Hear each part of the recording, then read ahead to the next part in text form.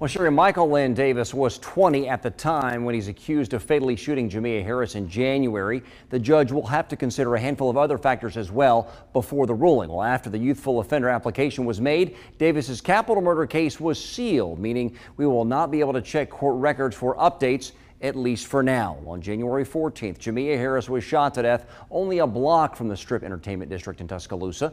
The Birmingham mother was in town with friends when shots rang out.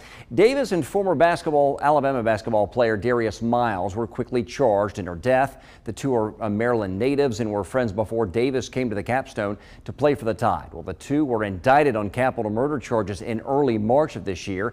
Now Davis is hoping a judge will give his case youthful offender status under Alabama law. Here's what that means. If the judge does approve it, Davis's trial would not include a jury. If convicted by the judge, he would face a maximum of three years in prison and his case would remain hidden from public view going forward. Of course, if the judge rules against the application, he would be treated as any other adult capital murder suspect and would face the death penalty. Judge Daniel Pruitt is expected to hold a hearing on this issue on July 21st.